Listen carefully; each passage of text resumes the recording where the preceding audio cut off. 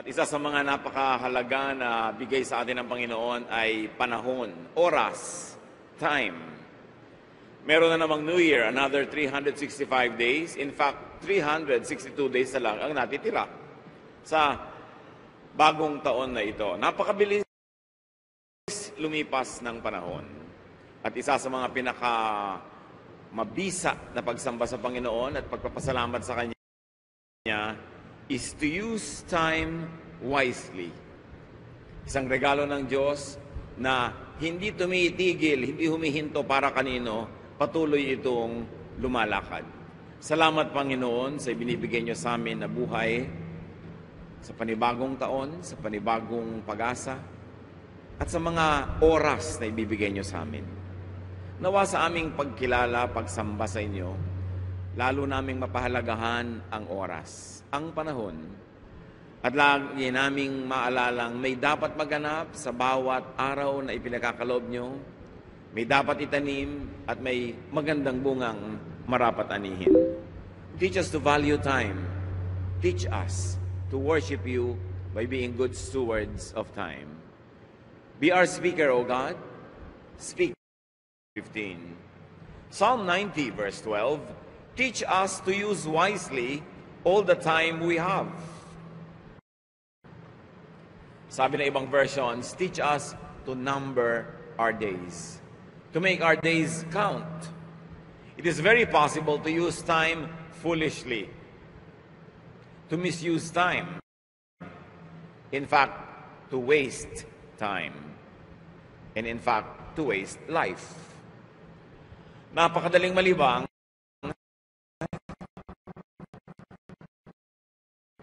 na hindi mo pala napapahalagaan ng panahon. Bawat araw na ibinibigay ng Diyos, bawat oras, may nakatakdang dapat maganap. Merong magandang dapat mangyari, pero pagka hindi natin pinah is a mar- mark of godliness to respect time. Act according to season, to what time allows or demands. Mahalaga na ang mga anak ng Diyos, kanyang mga nilikha, ay gumalang sa tibok ng puso ng buong sangsinukob. That we must beat with the heartbeat and the pulse rate of creation. Talagang may oras ang bawat bagay. So act according to what time allows. Huwag laging kontrahin ang kontrahin ang panahon, kundi makiayon sa panahon. Ecclesiastes 3, 1 to 8, Everything on earth has its own time and its own season. There is a time for birth and death, planting and reaping, for killing and healing, destroying and building, for crying and laughing, weeping and dancing, for throwing stones and gathering stones, embracing and parting. There is a time for finding and losing, keeping and giving, for tearing and sowing, listening and speaking. There is also a time for love and hate, for war and peace. So there is time for everything. Kung tayo ay marunong magpahalaga, mamahala ng oras, may oras para sa lahat. Hindi ka kakapusin ng oras para sa lahat ng dapat maganap. Kumisan tayo kinakapos dahil sobrang oras ang ginugugol natin sa hindi naman dapat paggugulan ng sobrang oras.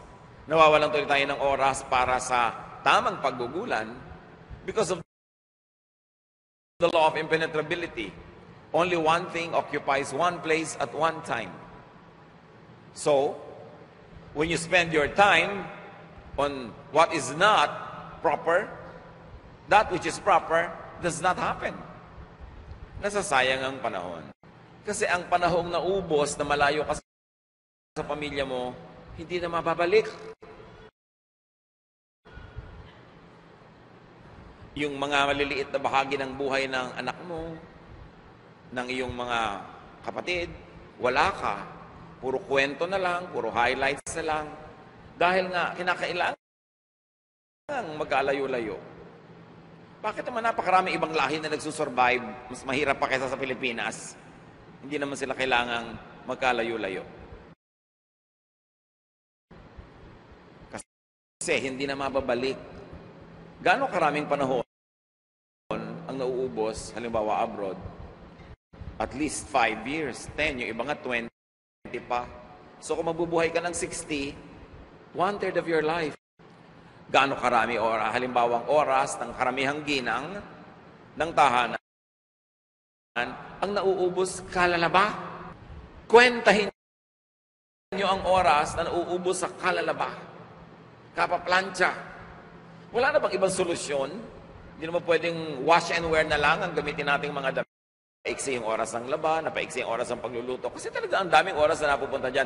Nilikha ka ba naman ng Diyos talaga para maglaba ka na maglaba ng maglaba? Tuwan-tuwa ka sa bula. Yung binobola ka ng mga produkto ng sabon, iyayakap-yakap mo yung bula, ang ligaligaya mo naglalaba ka. Sa totoo buhay, magpahinga ka, hindi yung inapo ka na ni kamatayan, naghahanap buhay ka pa. Kaya mahalaga na mapaunlad ang bayan, mapaunlad ang economy. Because it takes a certain level of wealth to be able to really let time bring to you what you must experience. Yung puso for the worst. Because there's time for everything. And things that we don't like will happen. Face, accept, and deal with anything and everything that can happen. At dahil tama ang allocation mo sa oras. Paano tayo mag-allocate ng oras? Malalaman mo kung ano yung mahalaga eh. Kung ikay biglang namamatay, kantayin, tuloy-tuloy ang andar nito. Nasa iyo kung paano ka sasabay. Para walang pagsisisi, kung aagawan na ng buhay, minimize risks and pain in life. Maximize your pleasure and happiness and do the most good all the time so that there will be no space for regrets. And don't waste time resisting what is inevitably happening. Nakakita ka na ba ng taong gustong lum... Huwag ka na magtaka kasi panahon ngayon ng lungkot. Merong may sakit, merong namatay, merong nasunugan. Panahon ng lungkot, eh di malulungkot ka. May panahon ng saya. Kung ano yung panahon, doon ka lumugar para hindi ka makipagtunggali, makipaglaban, makipag-resist. So what is happening that cannot be stopped anyway. And then, be creative to make the most of time, no matter what time it is. Ephesians 5.16, make every minute count. Don't waste time regretting or romancing what has already happened. Maraming panahon na uubos kasi itinedevote sa pag-iisip ng nakaraan na, eh tapos na yun eh. Napag-ukulan na yun ang panahon, nagastosan na ng oras, tapos na dapat yun. Hindi na sobrang iniisip, hindi na laging binabalik-balikan, maganda man o pangit. Lalo kung pangit. Kung may mga pangit, forgetting what is behind and straining toward what is ahead. Sabi niya, kinakalimutan ko na yung nakaraan. Even if what is behind is good, forget about it and get busy making something better. Nakakalungkot kung wala ka ng high moment in life, kundi yung nakaraan, lagi na lang, the good old days, the good old days. Bakit? Wala na bang good days ngayon? Wala na bang good days bukas? Too much romancing of the past. Sabi sa Ecclesiastes 7.10, Do not say, where were the old days making something better.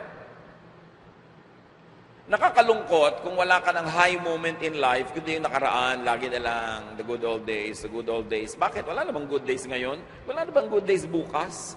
Too much romancing of the past. Sabi sa Ecclesiastes 7.10, Do not say, where were the old days better than this? Why were the old days better than this? For it is not wise to ask such questions. Huwag na, bakit ka wala sa sarili? Naaalala ko ang kahapon. Eh, nasan yung kahapon? Tapos na. So, hindi ka na pwedeng bumalik doon. Meanwhile, na-miss mo yung today. Kasi inubos mo yung today thinking of yesterday. Think of the past only to review lessons learned. so that you can avoid repeating mistakes. But do not dwell too much on what is already done. Don't waste time needlessly worrying also about what is yet to happen. Pag naman fast forward mo today, yung pwede mo maging problema bukas, wala ka rin ngayon today sa sarili mo. Sayang din yung today kasi ginastos mo yung today thinking about tomorrow, samantalang tomorrow when it comes, should think about it. Sukat niya tayo. Kaya kung minsan hindi natin nakakaya, may inaka-assign na na dadalhin mo today, tapos dinadala mo pa yung yesterday, tapos dadalhin mo pa yung bukas na wala pa, kaya ka nasasobrahan ng dala. Sabi niya, today is what you have. It is called cash. Tomorrow is only a promissory note. You are not even sure if you will be there tomorrow. So why worry too much about it? Of today. But when the grace of God is divided between the cares of yesterday, today, and tomorrow, it will never be enough. Don't waste time imagining your fears about what could have happened. Marami kang ganon. Nakarating na nga safely halimbawa yung anak o yung kapatid. Eh paano kung nagalito ka? Eh paano kung nag... Hindi na nga nangyari. Bakit pinag-uusapan natin? Nagwa-worry pa tayo sa hindi nangyaring posibleng nangyari sana? Why worry about that? Let's just learn from the past and be better persons tomorrow. Don't waste time imagining your fears about what might yet happen. What could have and what could. Yung paano kung, isip ka ng isip sa paano kung mangyari to. Eh, paano kung hindi mangyari? Di sayang naman yung kaiisip mo. And chances are, hindi. Laging takot na takot. Kailangan magtanim, magtanim. Huwag ka matakot. Di ba paano kung bumagyo next month? Pag bumagyo next month, the worst is, maubos lahat ang tinanim natin. The best is, hindi naman maubos. Pero pag hindi tayo nagtanim, kahit hindi bumagyo next month, wala rin tayong ani. So magtanim ka na lang. Ecclesiastes 11.4, If you worry about the weather and don't plant seeds, you won't harvest a crop. Natatakot umibig, baka mabigo. Eh, ganun talaga. Kung oras ang kabigo, hindi nabigo ka. Bumangon ka muli. Pero hindi ka man lang nag-try, yun ang pinakamalaking kabiguan sa lahat. Ayaw magnegosyo dahil baka malugi. So, hindi ka nagnegosyo, eh, tumubo ka daming mga cabin crew na nagtandaan na kalilipad. Meron ka ba talagang kilala, personal kilala mong namatay sa plane crash? Mas marami pang namatay na nasa tricycle, na ipit ng truck ng bato. Mas marami namang basta nahuhulog sa Cannon Road, no? Kaysa sa airplane na nagka-crash. So, ang daming exaggerated fears about flying. Eh, lalo na if you really have to fly anywhere. Sorry. Pero alam nga naman, di ka na mabuhay dahil natatakot ka sa mga mapundol. Huwag ka na lumabas ng bahay. Pwede rin namang malaglag ka ng aeroplano yung bahay mo. O biglang bumuka yung lupa, bahay mo lang ang kinain. Kaya sa mga, eh, bakit nga hindi ako lumabas? You'll never know naman eh. So mabuhay ka na lang. Sabi nga ni Solomon, everything happens. You know? Hindi lahat ay nakakatiyak. Walang logic ang mga nangyayari. Time and chance happens to all. Kaya alam niyo, mapalad yung mga taong hindi warrior. Yung ikaw, aregladong areglado ka, isip ka na isip. Ito siya, relax na relax, walang iniisip. Sa palagay niyo, sino sa inyong na mas blessed? No? Yung mga hindi masyadong warrior. Kaya sabi sa Philippians 4.6, Do not be anxious about anything. But in everything, by prayer and petition, with thanksgiving, present your requests to God. And the peace of God, which transcends all understanding, will guard your hearts and your minds in Christ Jesus. Don't worry, pray. Do what you can within your power to minimize risks, but take the risks because that's what life is all about. Enjoy the ride of life, not just the destination. Tulad ng pag-aaral, hindi lang graduation. Every day in school, is a destination by itself. Yung may bago kang natutunan, meron ka naging kaibigan, nag-enjoy ka mag-basketball o mag-swimming, nag-enjoy ka makipagkwentuhan sa mga classmate mo, nag-enjoy ka sa mga experiment sa klase, and then kung graduate ka, lahat yon destination. Don't hold your life and don't put your life on hold just because of a desired ending. Katulad, di ba nung ikakasal, para yung araw na lang ng wedding nila ang mahalaga. No, the preparation is a destination itself. All the anticipation is part of life itself. Kaya hindi lang isa yan. Every day is a journey, and the journey itself is home. Sabi ni Matsuo Basho, isang 18th century Japanese poet. Enjoy the ride. Don't just think of the destination. Para kahit hindi ka makarating doon sa destination, nag-enjoy ka na. Hindi ka nalugi. Ecclesiastes 3, 9 to 11. What do we gain by all our all of our hard work? I have seen what difficult things God demands of us. God makes everything happen at the right time. Yet none of us can ever fully understand all He has done. And He puts questions in our minds about the past and the future. Sa kaiisip ni Solomon, na-realize na niya na marami namang hindi dapat isipin kasi hindi naman kayang isipin. Napapagod ka lang.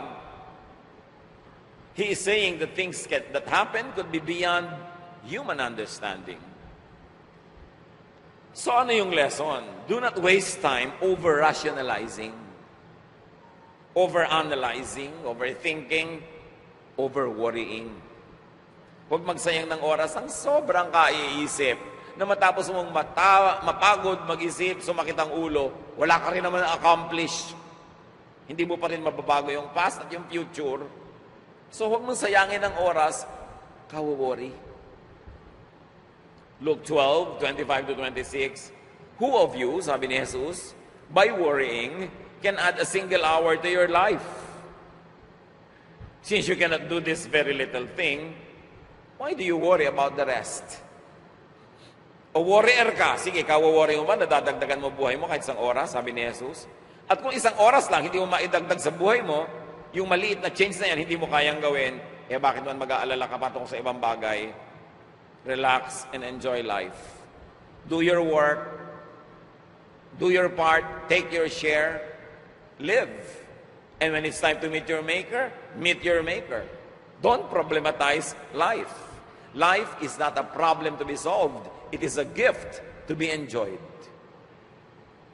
May mga tao pagdating ng umaga parang, hay, problema ang maghapong ito. Ang tingin sa maghapon, puro problema ang dapat solven. Samantalang, dapat siya magpasalamat. It is a gift of God to be enjoyed. Attitude. Walang nangyayari sa kaaalala. Again, the law of impenetrability. Pag ang laman ng utak mo ay worry, wala kang space for peace. Wala kang space for joy and happiness kasi nilagyan mo na at pinuno mo ng worry. So tingnan, ano ang iniisip? Saang mga bagay inuubos ang panahon? Katulad ng, sabay-sabay kakain yung pamilya. Gaano katagal kumain? 30 minutes? 45? 1 hour? Tapos uubusin ang lahat kati text sa ibang taong wala naman doon sa mesa. Sayang magkakaharap na kayo. It's a time to be together. Time to chat.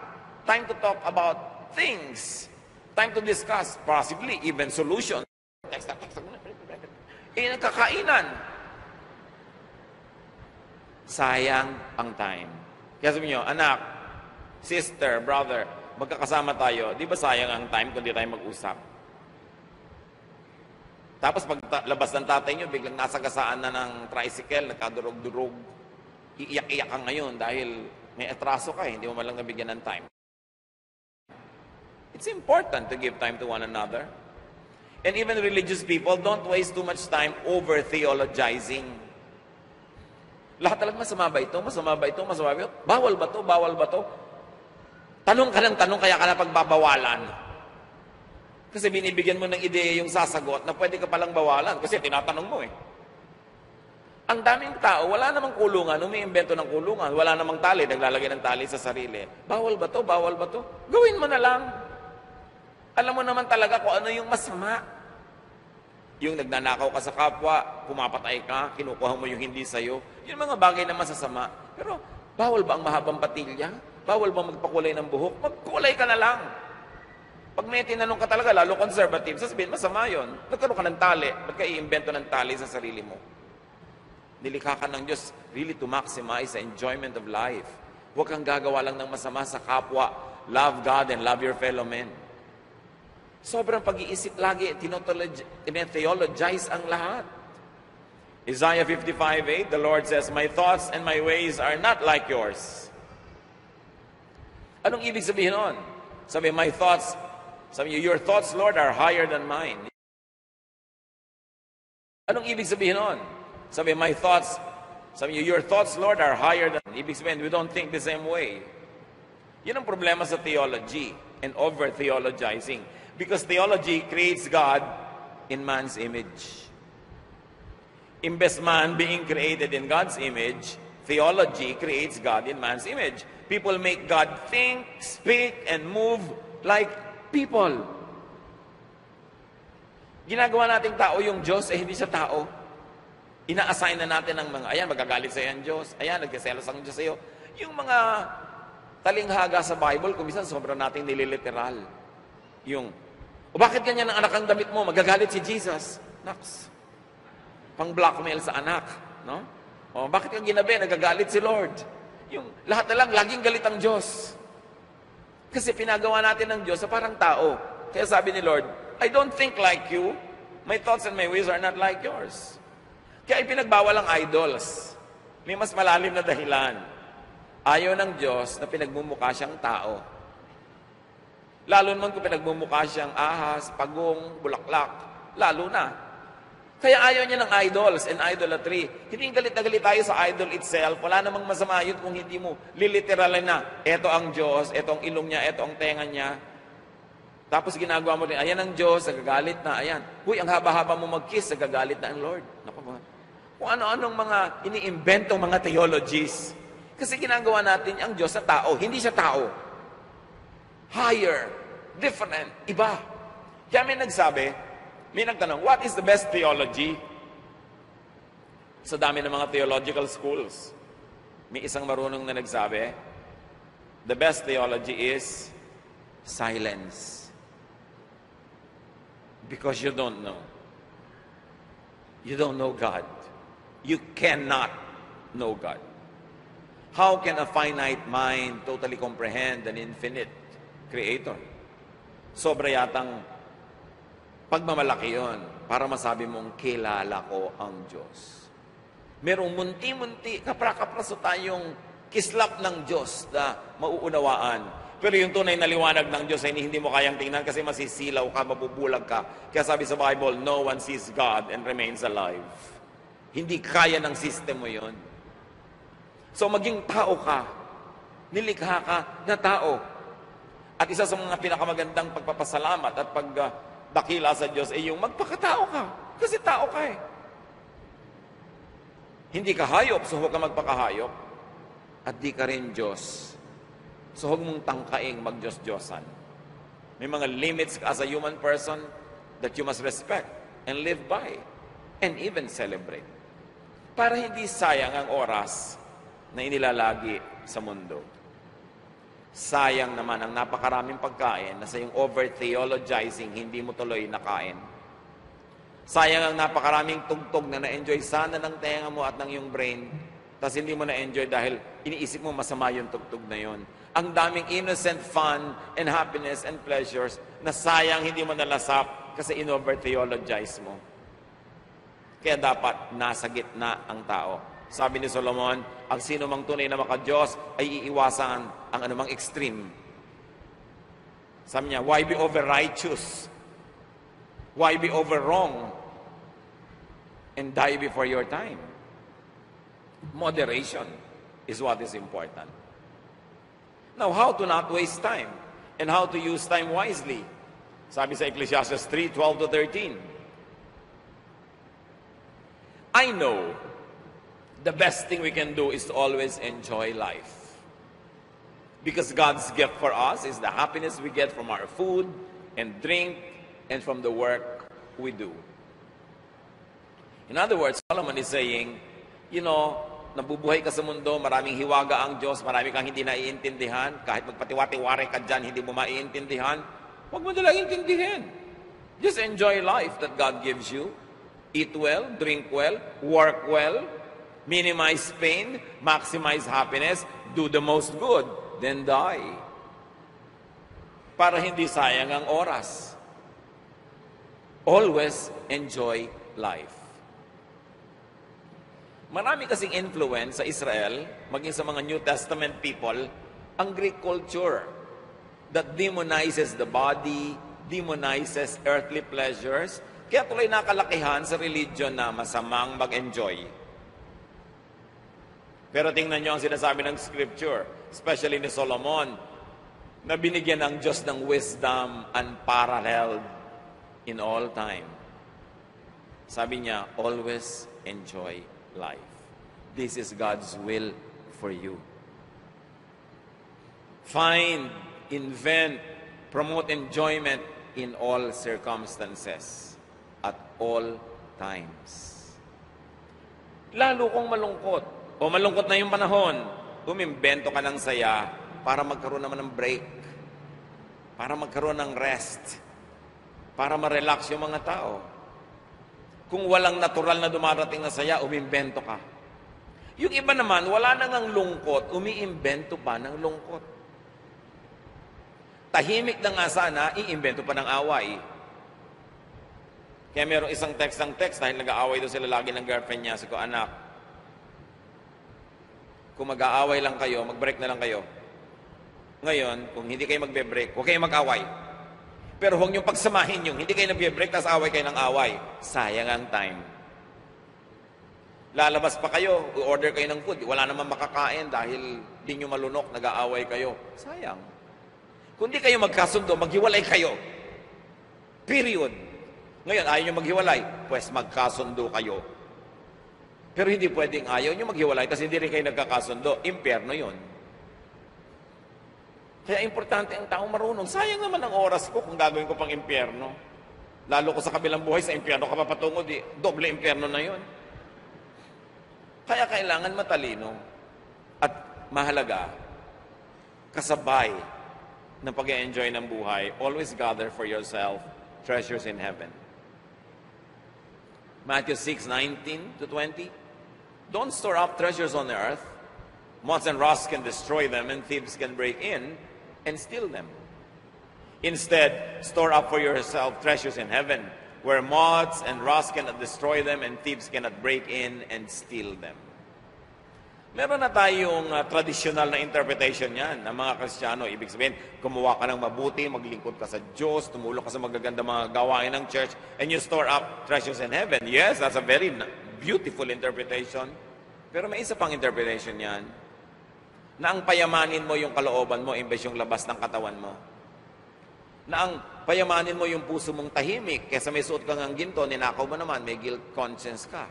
No? May guilt feelings ka. So, gather for yourself treasures in heaven, which is your heart, rather than gather for yourself treasures on earth, which is outside of your skin, just the body. In other words, huwag mong pasayahin yung itsura mo, yung suot mo, yung yaman mo, yung kinakain mo lang na pumupunta lang sa stomach mo, tapos lumalabas din uli, at the expense of your peace of mind, at the expense of your inner joy and contentment. Pwede rin yun na-interpret as treasure in heaven, because where your treasure is, there your heart will be also. So, imbes na ang payamanin mo yung bulsa mo, pati mo payamanin yung puso mo, imbes na magnakaw ka, gumawa ka ng masama, na mataba nga yung bulsa mo, pati yung puso mo nangangayayat. Kaya sabi, better gather for yourselves treasures in heaven rather than on earth. Alam niyo, scripture, ang daming pwedeng reading yan, hindi lang isa. Kaya nga siya, Word of God eh. Kahit anong level ng intelligence mo, kahit anong level ng understanding mo, may mapapala ka. Pero mahalaga na dumami yung levels and angles of understanding para mas marami kang mapala from the Word of God. So anong papayamanin mo? Yung panglabas, yung material, o yung kalooban? Let's put it down to daily life. Anong mas papahalaga nyo talaga mag-asawa? Magkahiwalay kayo na ang dami-dami yung nagiging income? O yung magkasama kayong masaya na konti lang yung income? Where will you gather treasure? On earth or in heaven? In your heart or outside of it? Napakaganda ng mga turo ni Jesus pag binasa mo na maraming levels. Kasi mga turo niya, kumbaga sa kakanin, sapin-sapin. Maraming layers. But you've got to have the capacity to dig the deeper meanings. Kasi poetry yan, metaphor, said in beautiful classical language. Kailangan mahukay mo yung laman para yumaman na yung pagbasa sa mga kahulugan. So anong payayamanin nyo mga kapatid? Pipili kayo. O mga anak, makakapagkuha tayo ng magandang bahay, pero lahat kayo magtrabaho abroad, lahat tayo maghiwa-hiwalay, then mag-ipon-ipon tayo, then magkakaroon tayo ng magandang bahay. Or, titira tayo dito sa loob ng malaking Tupperware, pero sama-sama tayo. O, ano, pipili. Kailangan pumili kayo. Ano ba talaga yung mahalaga? Kasi, only one thing occupies one place at one time. Pinipili mo kung ano yung magbibigay sa'yo ng kapayapaan, ng kasiyahan, kasi mamamatay din naman tayong lahat. Sayang naman yung buhay na mas maraming oras na ubos sa paghihiwalay, sa hindi pagsasama-sama, sa pagtitiis. Mahirap yun. Piliin. Sabi ni Lord, piliin yung payamanin, yung what is up there in heaven. Heaven can be there, meaning do good works para may points ka doon, or unahin mo yung kung ano yung nakakapagpayapa sa iyo. Payamanin mo yung loob mo kaysa yung katawan mo lamang. Alin talaga? Psalm 90 verse 10, tungkol daw sa buhay, we can expect 70 years or maybe 80 if we are healthy. But even our best years bring trouble and sorrow.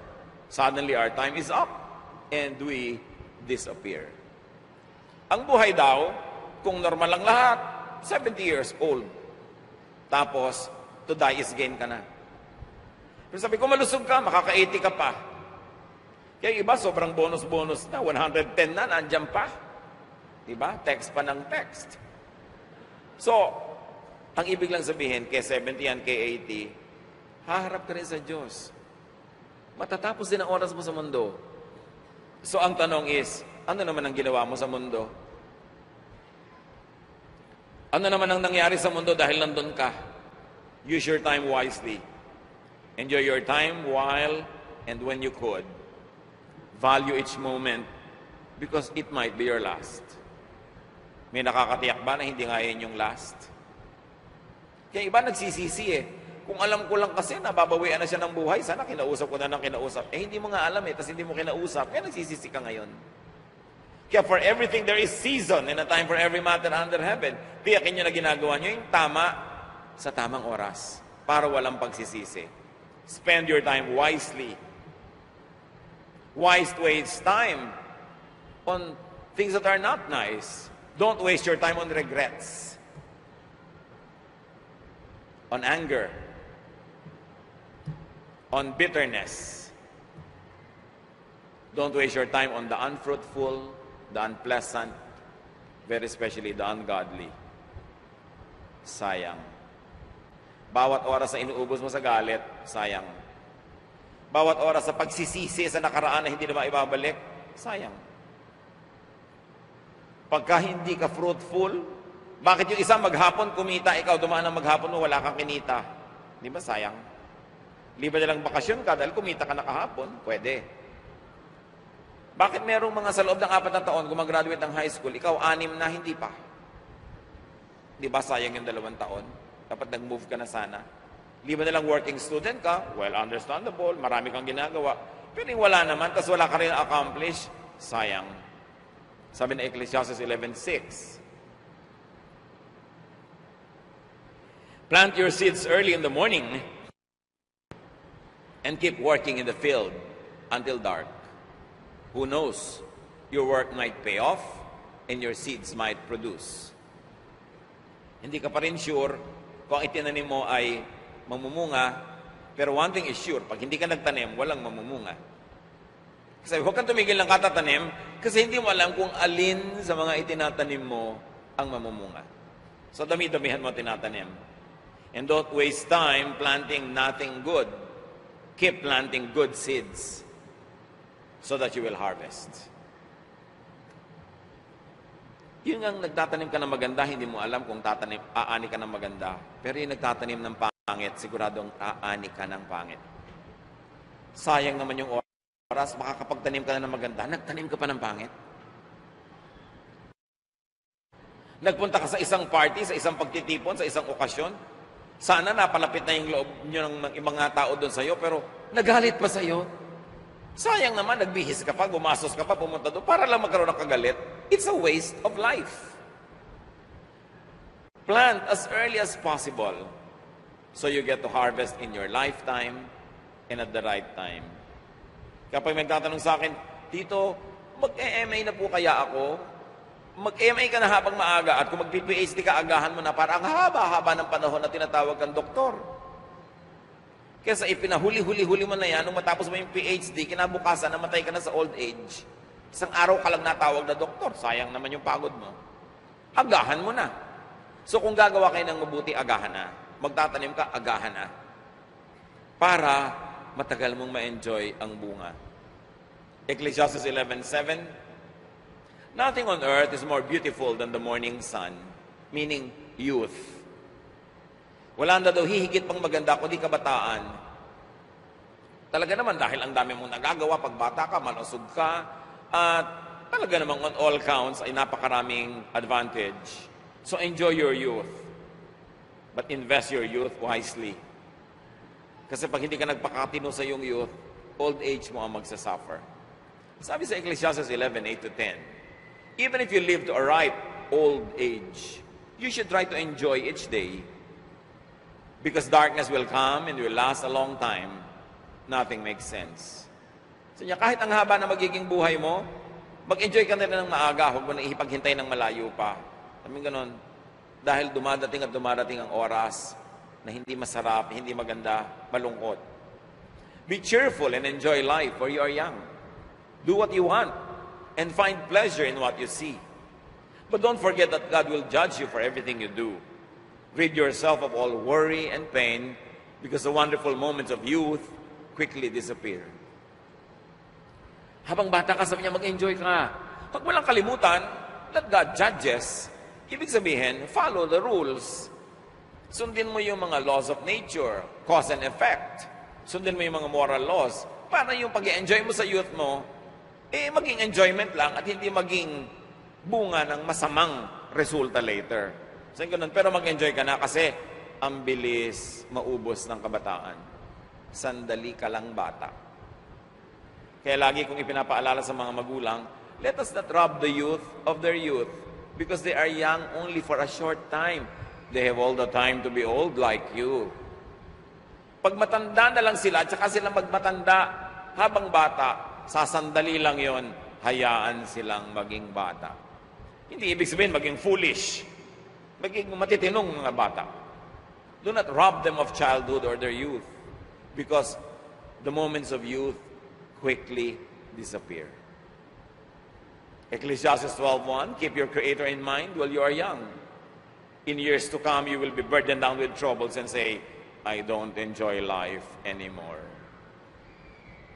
So mag-enjoy na kayo habang pwede kasi dumadating talaga yung panahon, lalo sa katandaan na marami ka mang ibig gawin, hindi na pwede, hindi na kaya ng katawan.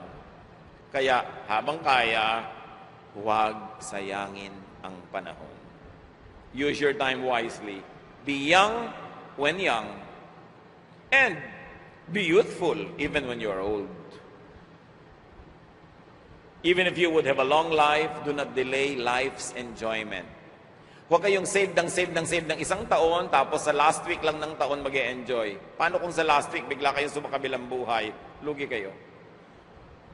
Dapat nag enjoy ka every hour, meron kang konting minutes of enjoyment. Kung ano man yon, mangungukot ka ba ng butong pakwan, kakain ka ba ng banana cue, whatever. But every hour, dapat may fun ka kasi next hour, hindi mo alam kung buhay ka pa eh. And then every day, meron kang hour of enjoyment. Every week, meron kang day of enjoyment, of rest. Every month, meron kang mas relaxed na days. Every year, meron kang weeks na mas relax so nag enjoy Kasi huwag mong ipunin lahat sa kaduluduluhan yung fun. Kasi baka hindi dumating. Baka malugi ka bigla. Maraming ganun eh. Save ng save ng save for a tour of a lifetime. Ang tagal nag-save, hindi nagpunta kahit man sa bikutan. Dito lang, paikot-ikot lang siya dito para uh, nag-iipon eh. Tapos biglang sumakabilang buhay. Sorry, ang nag-tour, iba. So be kind to yourself. Enjoy every phase of life. Do not be and avoid being possessed by regrets. But don't remember, don't forget to just enjoy within godly design and godly rules. Kasi sabi, don't forget that God will bring you to judgment. Hindi yung panakot para huwag kang mag-enjoy. Ang sinasabi lang, huwag kang lalampas. Huwag kang gagawa ng mali. But sa lahat ng hindi masama, sa lahat ng okay lang, mag-enjoy ka. Yan ang gusto ng Diyos para sa iyo. Huwag ka maniwala sa mga relihiyosong tao na walang guna kundi gusto magdusa ka, mag-ayuno ka, magutob ka, lumuhod ka, dumipa ka. Hindi ganun ang kalooban ng Diyos. Gusto niya magkaroon tayo ng buhay na masagana. Sabi ni Lord sa John 10.10, I came that you might have life and have it abundantly. Have it to the fullest. But for you to do that, you should not waste time. You must invest time correctly.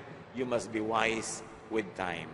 Panginoon naming Diyos, salamat dahil may oras pa kaming nalalabi para mag-isip, para isaayos ang aming buhay, to maximize our happiness, to minimize our pain, and to do the most good. Teach us to number our days. At salamat sa taong itong nakalatag sa aming harapan, nawa matuto kami sa mga pagkakamali nung nakaraan.